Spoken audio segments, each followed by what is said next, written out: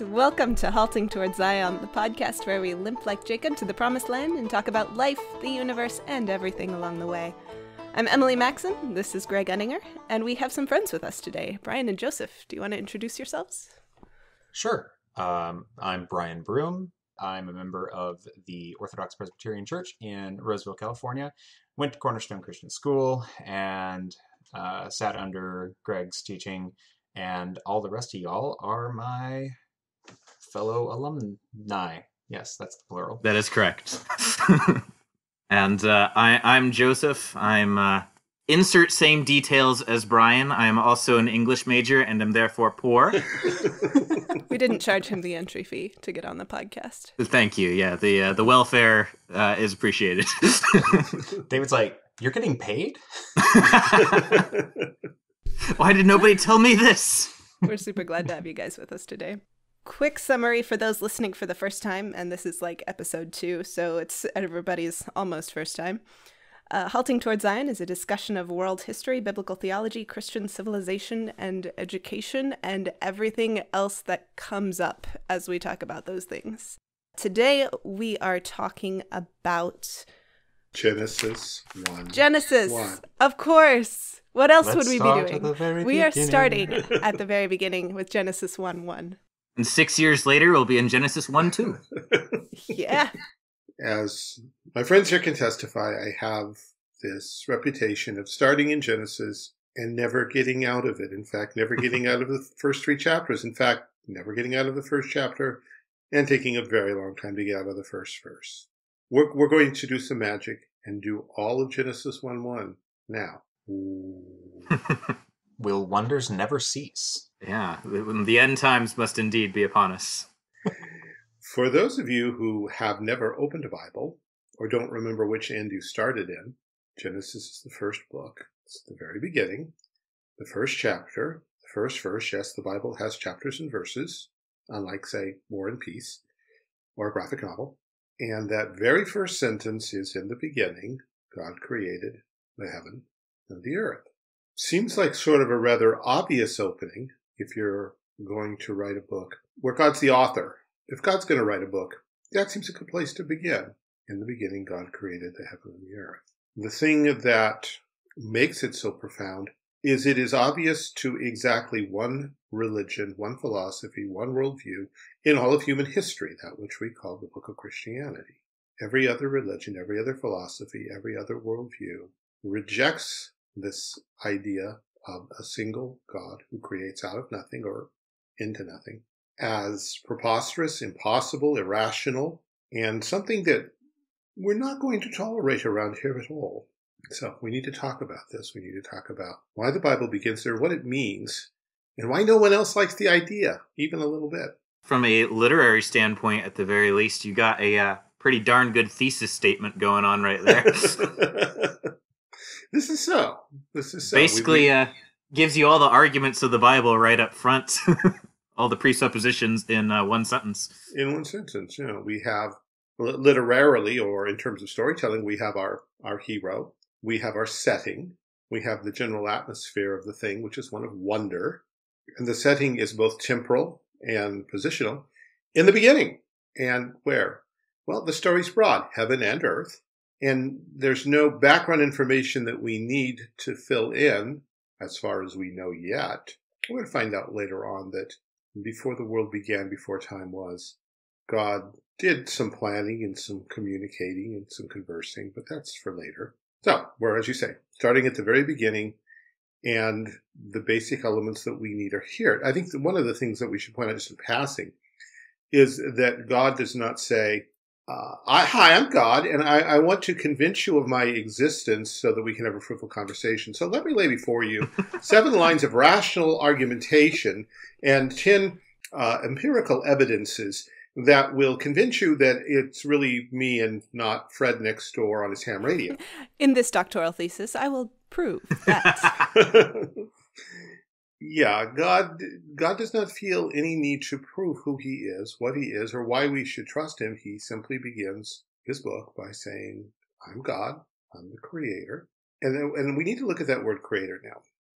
because as you read through philosophies and religious histories and cultural anthropologies, you'll see a lot about origin myths. Sometimes they're called creation myths, but they're not creation myths. They're origin myths. Uh, as you look at one after another, where you're, whether you're looking at mythology in Egypt or Sumer or Greece and Rome or Scandinavia or even the Aztec uh, mythology from, from Mexico.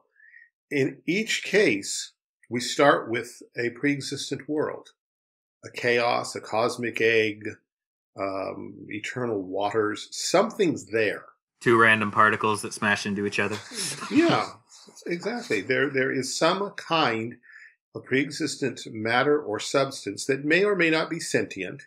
It doesn't really matter because sentience generally enters in at some point. So either it's there's a dualism from the beginning, or whatever is evolves some sort of sentience, and it doesn't matter a whole lot. Uh, and then the the origin myths tell us how this stuff, this mess, this chaos, whatever words the, the myth assigns to it, begins to develop into the world we recognize. But the assumption is that the stuff was there. And unlike Genesis 1 1, where God created the world and all of these other myths, and these other things which are myths, the universe created the gods. They are part and parcel of the universe. They're an extension of the basic reality that's already there. They're, they're a development out of it or within it. And there's no, there is no creator. Genesis, Bible, says that there was God and there was nothing else above God, beyond God, back of God, no uh, probability, no forces, no sentience, no abstract ideals, no, no um, ideal forms to which God might appeal as a template, no other gods beside him with whom he might kibitz and uh, plan. There was simply God. And then God, out of the wonder, the joy, power, of wisdom of his heart, created into what was nothing something. And we, we can solve a Greek issue here. Is nothing something? No, nothing was nothing. There really was nothing. Collapse the three dimensional universe, erase time uh, as we know it, get rid of matter, get rid of color, get rid of motion. There was just God. And only God can conceive of what that's like. But God was living. God is living. God is life. It was not a static abstraction. All we can say is what the Bible says that God is eternal love. And we can, in another podcast, I assume we'll talk about the Trinity. The three persons of the Trinity were there loving one another, communicating with one another, the Father breathing forth the Spirit to the Son, and the Son breathing forth the Spirit to the Father, and together enjoying one another, rejoicing in one another, and planning what they were going to do. And then they did it. And that's creation. Creation out of nothing. Creatio ex nihilo. And that means we got a sovereign God going on. We have a God who brought everything out of nothing except, well, it's not nothing because he created. He's there. But he didn't use anything. He didn't use pieces and parts. He didn't tap into any reserves. He, by his sheer power, his sheer wisdom, his sheer love, made the world that we know in all of its temporal and spatial dimensions and with its material substance. No other religion gives us that. And that means that this God of ours is someone we have to stand back in awe of and say, we don't understand you. You are incredible. You are amazing in the proper sense of the word. And if he did not speak to us, we would be lost.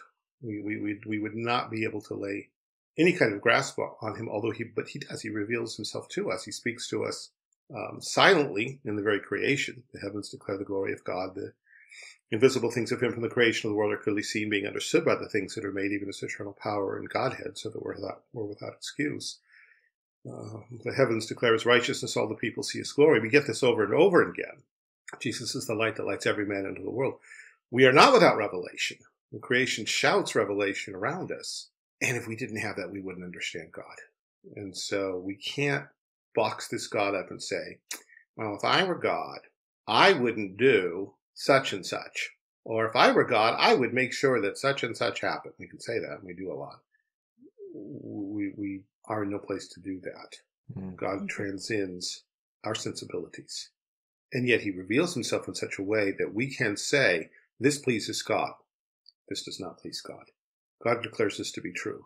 God declares this to be false. And he does it in such a way that we can really understand. It's a bumper sticker I've mentioned a number of times. Uh, God is too great to be caught in any one religion. The idea is God is so great, we can't say anything about him.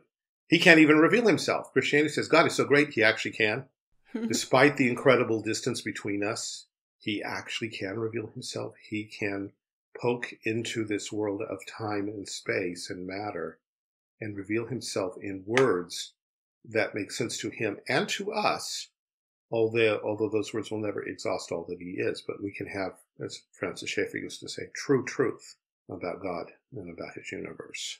So he communicates to us while remaining distinct from the created world. Uh, Van Til called that the creator creature distinction in contradistinction to the Greek idea of the continuity of being. Um, can you talk about that a little bit? Yeah, I seem to be doing that a lot lately. Uh, and it involves metaphors of cream of wheat and swimming pools. Both, that, both echoes so of my youth. I, I, I knew you would be. Uh, when I was a kid, uh, my mom made cream of wheat, which I really, really loved until she started not stirring it properly. And there were these big kernels of uncooked cream of wheat that you would bite into. But it was The cream of wheat. The struggle is real. The struggle is real.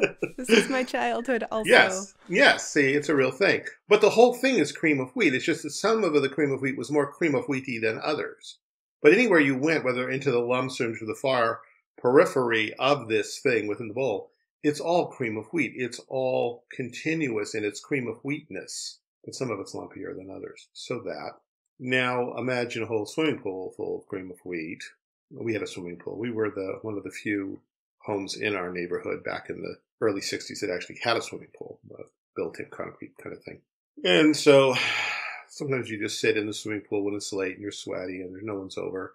And you sit in the corner near the uh, circulator. It's just pumping out water into the pool. And you want to do something that requires absolutely no energy. So sitting there, you just kind of start moving your arms on the top of the water up and down, up and down, up and down. Because the water, or cream of wheat if it were there, uh, is all of a piece, you move a little here, eventually the waves start propagating and you start moving it all. And it doesn't take very long, even a small child will figure out, to if you move your waves in the water, your, your arms in the water, you start up waves, that pretty soon have the entire swimming pool thrashing and gushing and swaying and splashing out, and dad coming out and saying, Stop wasting the water in the swimming pool. That costs money. Because this is California. Because this is California. um, yeah.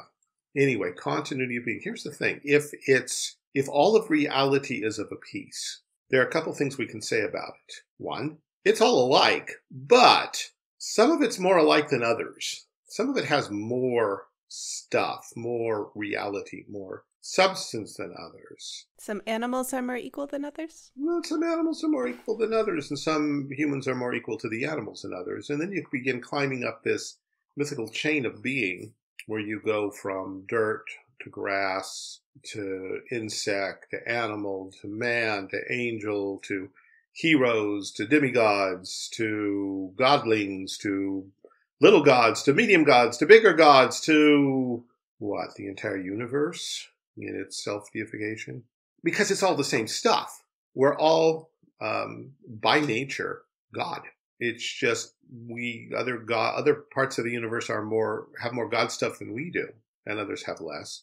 And depending upon the religion, the worldview, it may be you may be stuck where you are, just being sort of sort of divine. But more often than not, you will be provided with some kind of key that will allow you to ascend upward on this ladder of being and become more divine as you recognize what is already true that you are God's and you better get used to it. Now, back to the thrashing around in the pool. Because of this, because the universe is of a piece, all of it is reflected in each part, and each part has the ability to touch all. When the ancient world had a word for this, it was called magic. If all of the universe is reflected down into the smallest thing, then it makes sense that you could read the whole course of nature in tea leaves in the bottom of a cup, in the spots on a bird's liver, in the flight of a bird's, in the reflections in a crystal, in the uh, random um, casting of um, I Ching sticks, or whatever. Anything could reflect everything because everything's a part. And you know, today we, we have similar analogies we can make with little chips in our cars. If you tap into it, it will tell you the entire history of the car and everything it's doing and everything that's going wrong. But we, we approach that scientifically. We say there are mathematical rules and consistencies. But magic was a little more free flowing, and it was enough to know that everything is involved in everything else. But that very involvedness might mean that things aren't exactly what you think they are, and so it requires great experience and expertise and wisdom to be able to read the TVs well. Not everybody can do it. Secret knowledge. Secret knowledge. And then it goes the other way. Once you once you have the little in your hand, the little crank, the little touchstone, the little button, you can crank the wheels that turn the universe. You, by your little ritual over in this obscure corner, can do things that can topple empires, slay kings, bring comets into the skies. Anything's possible if you know how it works. And so, yes, back to secret knowledge, esoteric knowledge, um, continuity of being opens up the possibility of divination and magic. And every religion in the history of the world has, to some degree, if it doesn't start there, it's ended up there. We end up going in some fashion for complete domination of the universe, a complete understanding of the universe, despite the obvious fact that we're little, little puny human beings who don't know everything. But since we're God in the making or, or God in simply by nature, we ought to know everything. We ought to be able to do everything. The future should be open before us. We ought to be great. We should make a name for ourselves. Maybe we built a building that was really tall. That would give it away somehow. So, yeah, continuity being. Dr. Van Til speaks of, speaks of the creator creation distinction. Uh, his, uh, his friend at uh, the Episcopal Seminary in Philadelphia, across town, Dr. Rudolph, um, whereas Van Til, as I understand, would draw a line and say, at least this is what I do when I'm imitating him, creator above, creation below, and make the line really dark so you can understand there's no crossing. God doesn't become man, man doesn't become God. Dr. Rudolph would draw two circles. You put God in one and creation in the other and say, notice what's with these circles. Well, they're two circles. Exactly. Do these two circles touch? No. So God does not intersect with creation. Creation does not intersect with God. But then you draw a couple lines from the God circle to the creation and say, but by revelation, by providence, by condescending grace, God can act on his creation. He's not shut out of it, but he's not it. Dr. Rudolph was very fond of one liners, and one that I enjoy is um, God makes ducks, but God doesn't quack. by which he simply meant God makes the universe, but in the process didn't make himself into the universe. He makes ducks, but he didn't become one by making them. God can create without making the creation somehow a metaphysical extension of himself. He is distinct from it. And so mm. these two great warriors of the faith had their own ways of getting across the idea, but the Bible does it by saying, in the beginning, God created the heavens and the earth. God, heaven and earth. God was there from eternity, and eternity is not simply a very, very long time, it's timelessness. And then God, in the beginning, God created a beginning, and He created matter, He created space three dimensional space as we understand it. And then into this, he began this process of, of making a world one day at a time. The first day, there's heaven, there's earth, but that first earth didn't look a whole lot like what we know as earth. And so the next several days are God filling it, lighting it up, uh, and ordering and structuring it so it would become more like the world that we know today. See, we made it out of Genesis 1 1. Hey, I know. While. I'm so impressed. Yeah. So pantheism, yay or nay? well, let, us let, skip it. Let, let's get really bold and go into chapter three of Genesis. What? Ooh. But we haven't done Are we allowed to do that? Yet. It's not even 2038 yet. Yeah, I. when Satan appears, well, let me actually let, let, us talk about Satan just for a second. This is something I've written about a couple times, but I haven't talked much about it to you or, or, or hardly to anybody outside my writing. You know, there was a time when the, the heavenly host quieted down out of its alleluias and looked at the world that spun beneath their feet, so full of fish and fowl and light and glory and grass and mountains, and looked at one another. And one of them said to another, Hey, um, Gabriel, how old is this universe anyway? And how do you know? Because the angels had come online singing the praises of God. And oddly enough, as creatures, they didn't know what happened before. God told them. And it seemed absolutely reasonable to believe God because they know they didn't make themselves. And they see God making the universe, and in God, in some measure, revealed himself in their very being. But one of these angels had to ask, what's really going on here? Because if if if the universe is only so many days old, then God's telling the truth. God made it. He's omniscient, omnipotent, uh, transcendent, sovereign. But what if the universe has kind of always been here and he's just one more being like us? And what if one day he awoke just a little ahead of us and saw us and saw this and said, Ha, I've got this plan. The cosmic race to the God chair. exactly, the cosmic race to the God chair. If, if Yahweh got there first and he's pulling uh, the cosmic con job of eternity, convincing all of us that he's God, well, then that's not nice and that's not fair. Uh, we're, we're all more or less equal here. Anyway, somehow, in some way, Satan had to come to conclusions much like this. He knew he didn't make himself.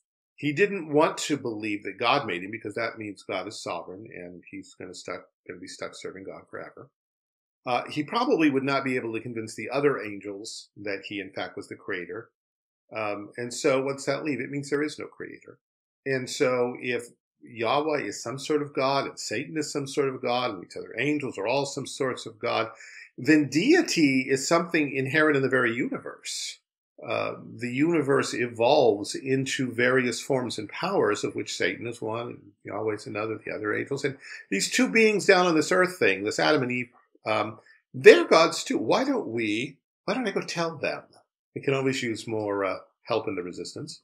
And so in chapter three of Genesis, we see Satan appearing in the garden in the form of a serpent and, and asks questions about God's integrity and good intentions and all. But eventually, when Eve says, Well, we've been told if we eat of this one tree, we're, we're going to die. We'll surely die. Satan says, No, you will not surely die. For God doth know the day you eat thereof, you, you, you shall be as gods, knowing your eyes will be open, you'll be as gods, knowing good and evil. Well, what's he saying? He's saying God has made a threat. He cannot carry it out. I mean, he might try, and he might be really scary, he might be really powerful, but this is a threat behind it. If this is so, then this implies that God is not the sovereign creator of all things. He has not defined the meaning of the tree by creating it. It's a thing. He's a different kind of thing. He sees it, he covets it, he wants to keep it away from you, but he is just a very powerful force. And you too can be very powerful forces. You can be like God. But notice again that, that that leaves no creator. So where did the world come from? From itself. It is self-existent, self-defining it, it exists without any kind of superintending. It does not need a God. It is God. It is divine sentience of some sort, forever spewing out new forms and forever resolving themselves back into it. So pantheism. Yeah. The day that Satan appeared, he said, first of all, there's no creator. Satan's an atheist. He says the universe is the source of all deity. He's a pantheist. He says, I'm a God, Jehovah's God, you're gods. He's a polytheist. And he says, but you, human beings, can be as God, make your own rules. He's humanist. And this leads inevitably to, and he's a magician. Because if these things are true, then the thing that turns, cranks the wheels of the universe is going to be magic. All of these religions, uh, they're names that we've invented to try to create many variations as if there are all kinds of different possibilities. You could be an atheist, you could be an agnostic, you could be a humanist, you could be, you could believe in magic, you could be a pantheist or polytheist. But what we're seeing here is you can either believe in the God of the Bible or you cannot. And not doesn't free you from the reality of that God's existence. It simply opens you up to a million variations on a common theme. You have rejected God. You are an atheist. You believe in your own divinity and the divinity of the world around you. You are a pantheist. You believe in many kinds of powers and forces um, that are inherently divine, you are a polytheist. And you will find yourself sooner or later resorting to some sort of magic, and you're humanist. In other words, you'll worship yourself. You want to play God. This is the nature of sin. This is the nature of every other worldview that isn't Christianity. And in passing, something about apologetics. Dear friends in the faith who, in, in their desire to uh, defend the faith, will say, well, let's just look at all the possible worldviews Okay, well, that's interesting as far as it goes. But the idea seems to be if we set out all these worldviews and we can look at them one by one and we can pick the one that makes the most sense to us. How high do we have to count to do that? Yeah. Two. yeah, Two. two. Because the first person to make that suggestion was Satan. All Satan does, is Satan doesn't claim to be God. He doesn't claim any particular insight beyond, he just claims to be right. Jehovah says this, I say this. Here are two different worldviews. That's all there really are. Pick one. Which one benefits you? Yeah. So yeah, pick the one that benefits you the most, that you're the most comfortable with, that makes the most sense to you and your autonomy. Um, and, and this is why you, you can talk about worldview evangelism or worldview apologetics, and, and we're still at some kind of just uh, basic compromise rationalism, where all we are saying is we'll, we'll look at the presuppositions, but we're still going to leave it up to you in your uh, in your fallen humanity, in your fallen reason, to pick the thing, to pick the position that you're comfortable with in your sense. And we think that that's going to work because we cannot imagine that there could be any other choice. Well, and that's the the problem between these these two ways of apologetics because the one is basically saying that the faith is a matter of logical assent to propositional truth. And the scripture describes the gospel as command. You are commanded to believe on Christ. It's not a it's it's not a uh, debate. It's not an yeah, it's not an alternate product that a salesman is trying to sell you on. It's like, oh, you could go with atheism, but Christianity's a pretty good option too, It's slightly cheaper. But you know, it's it's it's not like that. It's the there's the one option and there's the uh, the Chinese knockoff. Is that a racist slur? Somebody had to do it. Yeah. Oh dear. but you, um, yeah, you, you, you, you, you pinned it. It's will we bend the knee to our creator, knowing that he is in fact our creator, not having to be convinced. We already start there. We, we, we know who he is. We may want to pretend we don't. Uh, but you know, the, the, the new atheists who, who rage and rail so much upon our God. Isn't it funny that it's our God they rail upon? It's fun, isn't it funny that they hate him so much, even though so by- personally. So personally, even though by their reckoning he does not exist and could not exist, and they're very angry with him for existing and for not existing at the same time. But they don't get excited about Odin or Ra or, or um, a great spirit of, of Native American theology. It's just this one particular God who reveals himself in Christ in the scripture that they are angry, horribly angry with.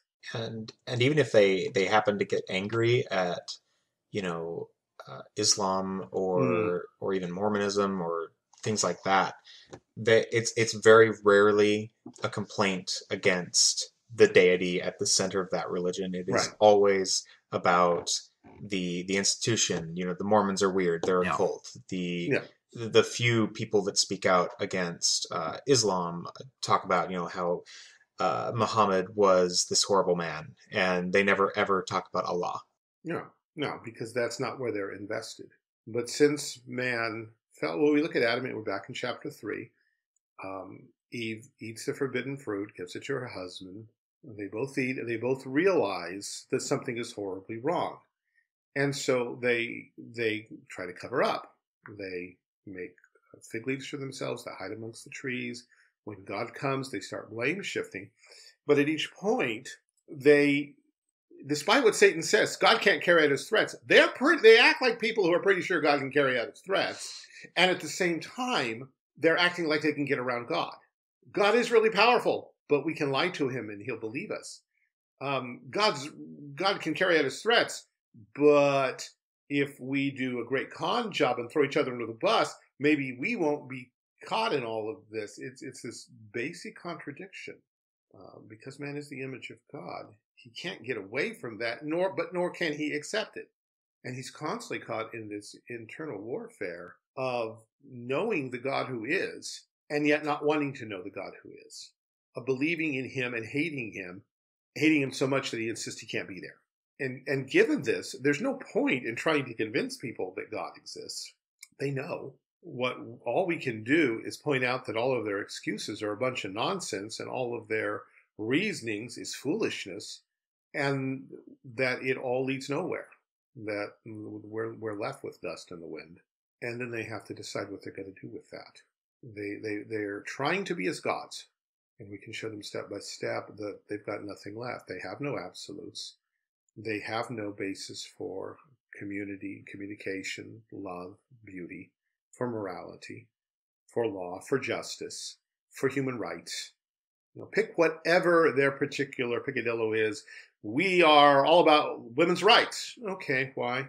We don't think you should abuse children, but neither do we. But why? Uh, we believe you should always tell the truth. Oh, really? Why?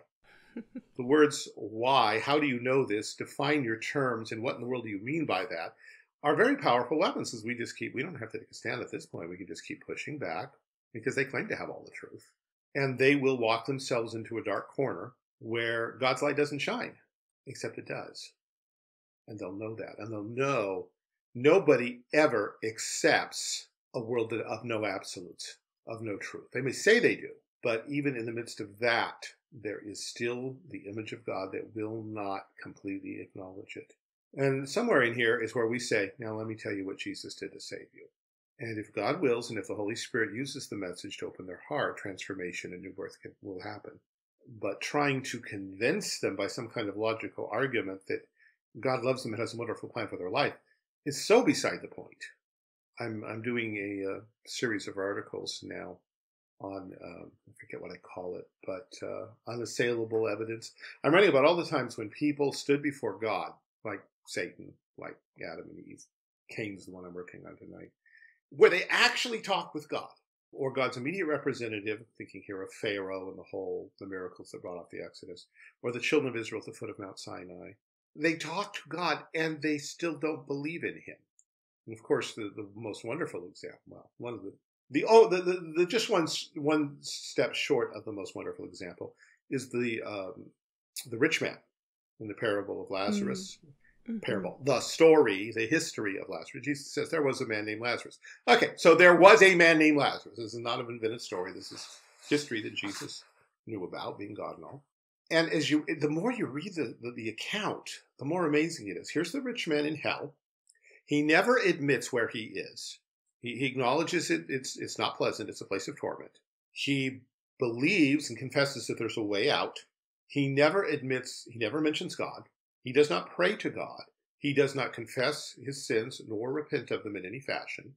He prays to a saint, to Abraham, and he does his best to get Lazarus out of heaven to continue the kind of relationship they had before, where, where Lazarus is just his lackey doing whatever errand he needs. And if he can just get the powers to be to acknowledge that he was there because he didn't have enough evidence. So send Lazarus back to my brothers and, and, and tell them about this horrible place. Abraham says, they don't, that's not necessary. They have Moses and the prophets. Let them hear them. No, Father Abraham. But if one rose from the dead, they will believe.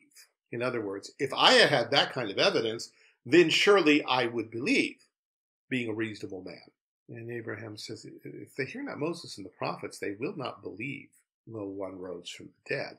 And a short time later, Jesus raises another man named Lazarus from the dead, and the religious leaders set about trying to kill Lazarus because they see that this is just way too much evidence in Jesus' favor. So he's got to go. Clearly, it'll stick this time. Yeah, we didn't kill you hard enough this time. How many times do I have to kill you, boy? And then, of course, at the end of the Gospels, when the Roman soldiers come to the Sadducees and say, "Tombs, tombs open, angel blasted away the thing, he's gone." The Sadducees do not say, wow, this is incontrovertible proof. We finally have the evidence we need. We've been so wrong. We need to go find this man and bow before him. They say, here's money, tell no one. We'll cover it up. If hell is not sufficient evidence, if people in hell still don't believe in God, if the Sadducees who knew the scriptures and who had first hand witnesses bearing witness to the resurrection, if they did not believe, there's nothing we can do in the form of argument to convince people to believe in the God they already know and hate. And so we, as you say, presuppose God. We begin with God. We begin with God's revelation of himself. We begin exactly where Genesis does. and we're not ashamed. But we do this by faith. We do this in grace, not because we're so smart and clever, but because God, in His providence and His predestinating grace, chose to save us. And our response can simply be, Thank you, Lord, because we are not worthy. Yes, so the school of apologetics, the presuppositional apologetics, is famously, what do you call it? Developed, expounded chiefly by. Uh, anyway, Van Til is the guy for presuppositional apologetics. Dr. Cornelius Van Til, very late professor of um, apologetics at Westminster Theological Seminary in Philadelphia. I don't remember when he died. I did live long enough uh, to meet him very briefly at a conference someplace in California. I don't remember. I think it was Southern California. He was already an old man, and his mind was not very clear anymore. But I got him to sign a book. And I got to shake his hand. And he was he was a wonderful wonderful gentleman, and he got up to, to preach. And as I say, his mind was not very clear at that point, but it was so full of scripture that he just started talking, and every passage led to another passage, it's verse after verse, passage after passage, ranging all through scripture that was how he thought. He, he wasn't talking philosophy. He wasn't talking Plato or Kant. He was talking the Bible all the way through. It's wonderful. Although he could talk Plato and Kant. Oh, and, and absolutely, absolutely yeah. could. And, and, in his books, you might think that that's all he ever did. his books are points are sometimes quite difficult if you don't know the sources, and sometimes even if you do know the sources, because he usually he usually makes that leap of well, if they say this, they intend this, or they assume this, or they imply this. So let's just begin with that and we're left saying, "Wait, what? How did you get there? You're you're like three steps ahead of us already. Could you slow down?" He, he didn't always, and yeah. so some people have come along and tried to, to bridge the gap for us, and maybe we'll do, be doing a little of that as we go along. Yeah, my pastor in Hillsdale, when he found out I was interested in Van Til, he said, "If you're going to read Van Til, you need either an undergraduate degree in philosophy, or." Or you need Greg Bahnsen's uh, compilation of his work, and Bahnsen does a fantastic job yes. of making Van Til's arguments a little more linear, so they're easier to enter. Because, yes. like when you're reading Van Til himself, which I have done, you just kind of have to jump in with both feet and stick with it until it makes sense. But uh, if you have Bahnsen to sort of hold your hand along the way, it, it makes it a bit easier. But there isn't there a shorter book because that that book is n- numbers of hundreds of pages. Dr. Bahnsen has a couple of books. Always Ready, I think, is the name of one of them. Again, this can be in the show notes because I would mm-hmm. actually have to go into my library and pull the book. Uh, but I think that's that's the one I have. Dr. Van Til himself wrote a summary of a summary. He he took Defense of the Faith and summarized it down into a very small syllabus that's more of um, outline form. And I know that uh, within my denomination, which is the Reformed Church of the United States, candidates for uh, examination for the ministry will often be handed this and said, "This is all you need. Read this over five times. And if you can get this, you, you'll you'll get through the apologetics part of the examination." I, I think that's true. I'm not sure that simply reading through it is really going to give you a great deal of depth, but it does exist. It's just called Apologetics. It's by Van Til, and um, recommend that to anybody who's interested. Uh, there are some other books here and there, but there's one by a man named Jim Halsey that I read when I was young, but he's not the smoothest writer either. Better than, more linear, you would say, than Van Til. Um, of course, there's Dr. Bahnsen. Dr. Bahnsen is often, he, he thinks very A, B, C, D, E, but he ends someplace around X, Y, Z. very detailed. Yeah. Um, mm-hmm. If you want, if you want thoroughness, Greg is the one, one to follow here. So, yes, we recommend all of these, and I think we recommend that you you you look at it uh, on the look inside feature feature in Amazon and read a few pages before you buy it. I know people have just bought the whole the whole kit and caboodle and then realized I can't make sense of any of this. I think Every Thought Captive is another one that I've heard recommended. Um, yeah, it's designed for younger people, but I'm a teacher of younger people, and I'm not thrilled with it. If you, for those oh. who've read it, if they, if they, have you read it, Emily, or any? Have I have not. Read I, I read it in I read it in school, and it was it was okay. Uh, I I don't think it it didn't yeah. like leave any profound effect on me. But then again, I think I was 15 when I read it, so very few things did. yeah, So I, I, I, I don't disrecommend it. I, there's nothing wrong with it. I, we, we're constantly looking for the book that we can hand to young people and say, read this and you'll get it all. And I don't think it's been written yet. Or maybe it has and it's just not written by human hands. yeah.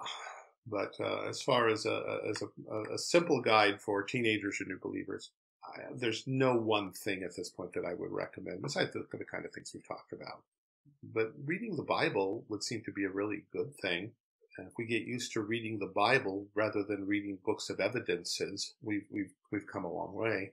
And while we do need to think in terms of worldviews, at least to some point, again, what people need is not a philosophical argument. They need the gospel.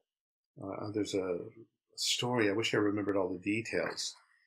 A man, a man comes to his pastor and says, this really famous, important professor is coming to town and he's going to come to our church. And could you just, could you just make sure that you, you speak to him where he is? Because you know, he's smart and intellectual and has PhDs and stuff. And the pastor smiles and says, I'm exactly the man he needs to hear. And so when the man came, all the preacher did was preach the gospel the same way he did every Sunday. And our intellectual professor came to faith in Christ. Because it's not about arguing, it's about the Spirit of God breaking through the hardness of the human heart and turning the lights on. And I've been amazed in reading scripture, especially the the prophets, how many mm-hmm. times the author speaks for humans in their sinfulness mm. and says the things that they'd say and then responds to it. Yes. So like we don't have to make up responses. We don't have to find the arguments. They're there if we know them. Like God has already answered them. Yes. God has made foolish the wisdom of this world. So at the point that we made in our in our first podcast and something we're going to go on making is if we want to convince anybody of anything through this podcast, it's simply this read your Bible. Mm-hmm. Read it not in the mystical, devotional sense of, I will read these three verses and I will get my orders for today and they will tell me exactly what to do. And we all know the story random finger down, Jesus went out and hung himself, finger down again. What Haley's correcting me. How should I say it? Said Jesus. Oh, this is Jesus Judas. So the story is we put down our uh, our finger on a text to find the will of God for today. And it's Jesus. I don't did it again. Judas went out and hung himself. Judas went out and hung himself.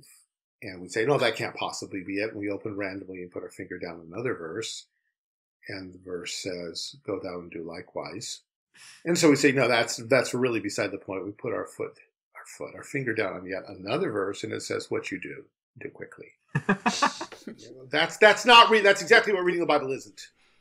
Reading the Bible means you read it, uh, as Francis Schaeffer used to say, like another piece of literature, where you begin at the beginning, you follow its arguments, its themes, uh, verse by verse, step by step, page by page, until you reach the end and you let it speak for itself, believing that what it says is what it means.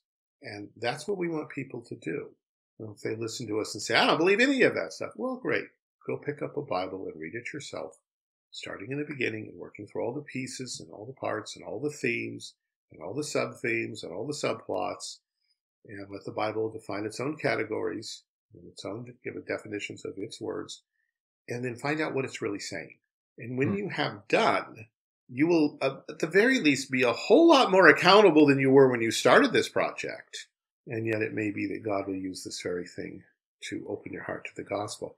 That's how Francis Schaeffer says he became a Christian. He picked up the Bible not because he was interested in theology as such, but because he was interested in philosophy. He was reading Plato and Aristotle at the time and he wanted to do intellectual justice to what everyone else believed, which is to say scripture. And so he picked it up and just started reading it in order. And little by little, he began to see that the questions that the Greek philosophers raised were exactly the things that the Bible answered. But this is the work of God. This is not because he was so smart, um, because he's had some kind of intellectual abilities the rest of us don't have. It's simply because God uses his word to change human hearts. And so this God who created out of nothing creates anew by his word and spirit. The God who commanded the light to shine out of darkness has shined in our hearts to give us the, the knowledge of the glory of God in the face of Jesus Christ. Uh, if we believe in a God who creates out of nothing, then we believe in a God who can take a blackened, dead human heart and create it anew as something beautiful and wonderful.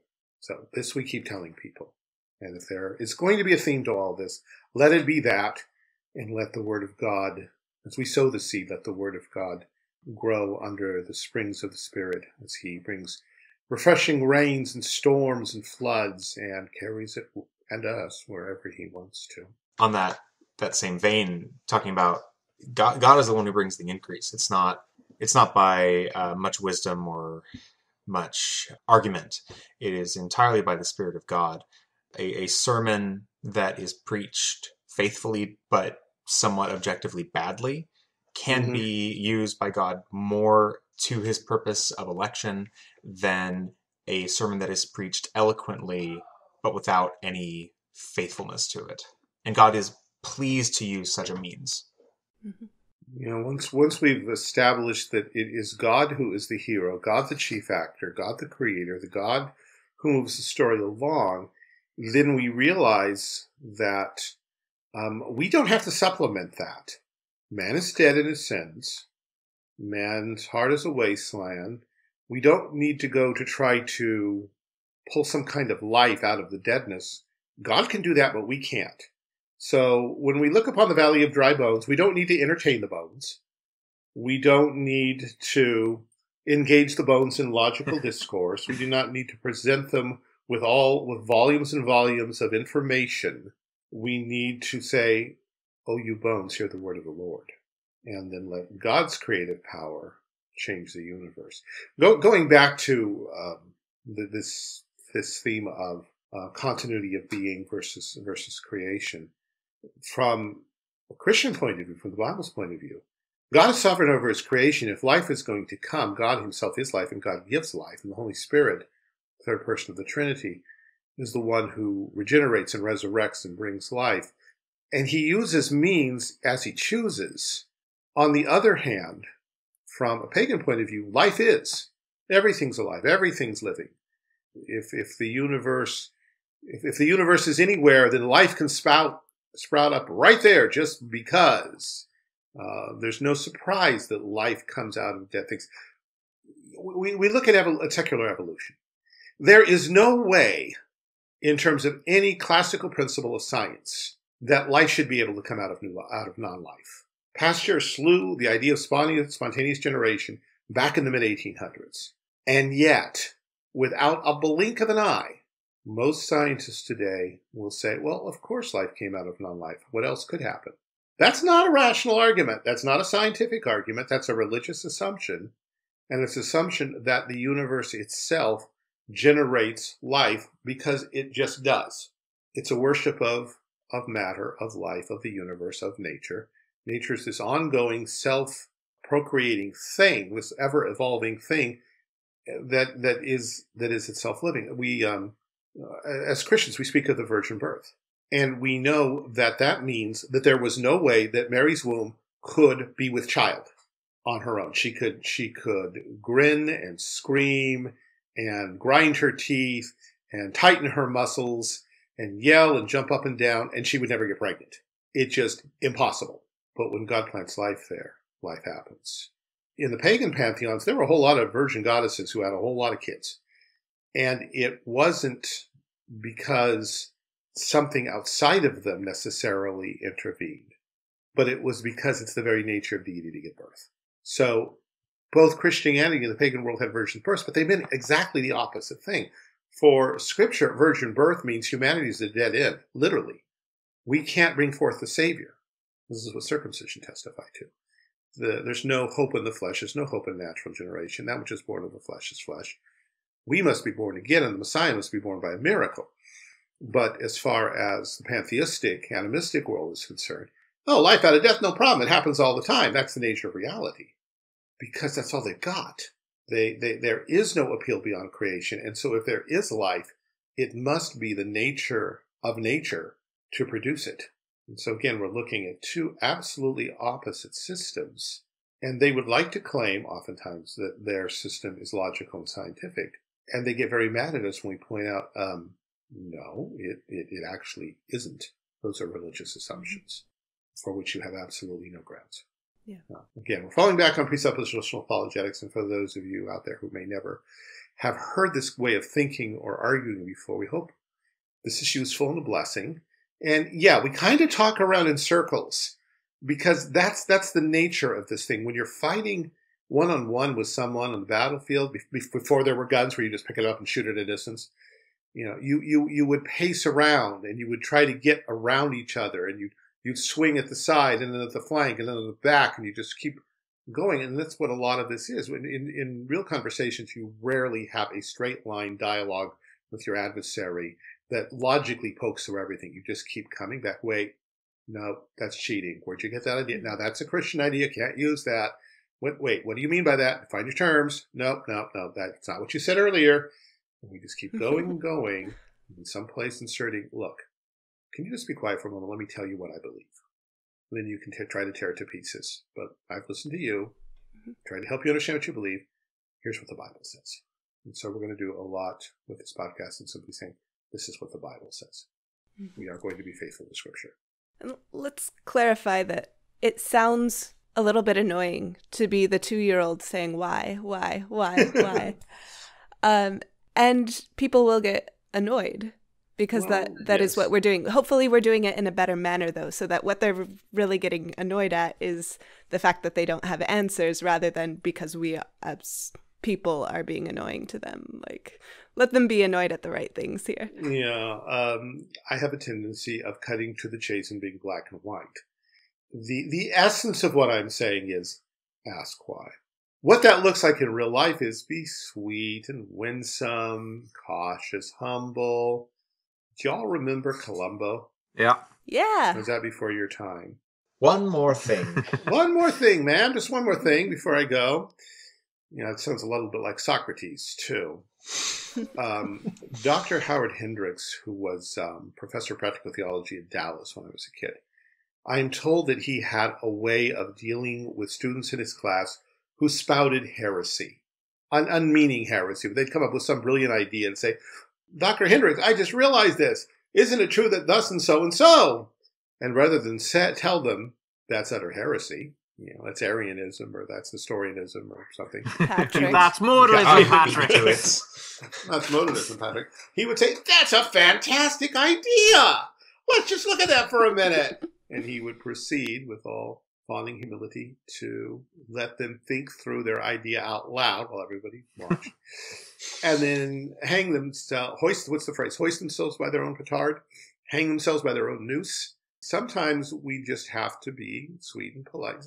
But, but, but that's not being honest. Look, it's a battle. We're trying to save a soul.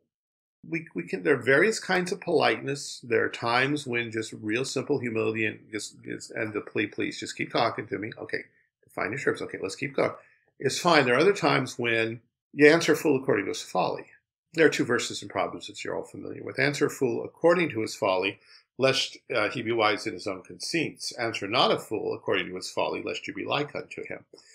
So do we answer or don't we? Well, the point is you, you answer in a way that makes the man's folly apparent but not in a way that con- where you are condescending to his level and, and, and honoring his foolishness as if it somehow was intelligent.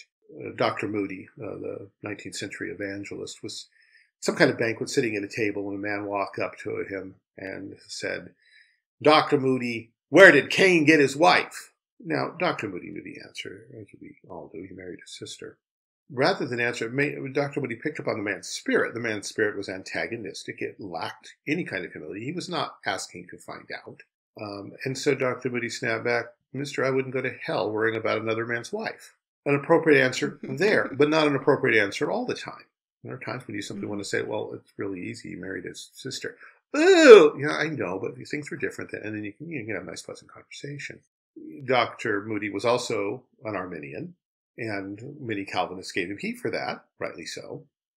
But one man, probably someone who thought he was a Calvinist, walked up to Dr. Moody and said, Dr. Moody, I do not approve of your, your evangelistic techniques. And Dr. Moody said, Neither do I. Please share with me yours. But I'm bum. Again, not the appropriate response all the time. There are people who who you want to be gentle with, and there are other people who are hard hearted and stubborn that you, you want to stop dead in their tracks. On a very different theme, we can think of, uh, of our beloved Winston Churchill, Prime Minister. That revered You- theologian? Question mark? no, not theologian, just Prime Minister. Woman walks up and says to Winston Churchill, Prime Minister, you are drunk. And she, he says, and you, ma'am, are ugly. And tomorrow I'll be sober. you know, there, there are ways to shut people down, and there are ways to encourage people when God may be working in their heart. There are people who are naive and will listen. There are people who are stubborn and need to be stopped in their tracks so that they can listen. And it's wisdom to discern the difference. And so sometimes it is going to be why. Explain. Define your terms. No, that's cheating. Other times it's going to be, okay, all right. So then that would mean what now? All right, that's good. All right, get you. Are you saying this? You are. Okay. So um, if I'm understanding you, then that would lead to this? No. Okay, you don't like that. All right. So both cases you're saying why, but one you're being nice and one you're trying to silence a fool. When the Bible recognizes both things, Jesus has a, we could, we could go, of course, to Jesus and all of the times that he had the perfect answer for people. Compare the way he dealt with the, the woman of Samaria with how he dealt with Nicodemus, with how he dealt with the, oh, the man who says, and who is my neighbor? Let me tell you a story. But he always had answers. Yeah, this, this man had multiple, or this woman had multiple husbands. You do err not knowing the scriptures nor the power of God. Or how about this, this money? Should we pay taxes? You hypocrite, show me the money. Jesus did not always play nice, but he could read human hearts. We need to be a little more careful because we don't have his omniscience. yeah. Yeah, and the there there's kind of an annoying trend among what I, what I would call the uh, the internet presuppositionalists um, to essentially The, treat the internet version of whatever we're talking about yeah is more annoying than the real life version.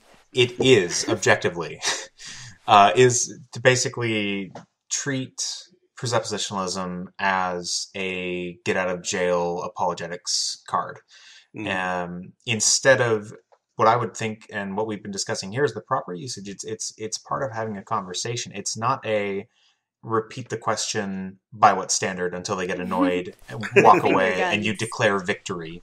Uh, it is yeah, finger guns as well. Uh, it's actually having a conversation and Mhm. Trying to get them to admit it themselves and Yeah. being strategic because just saying you're you're wrong and you don't have a standard without showing them that Yeah.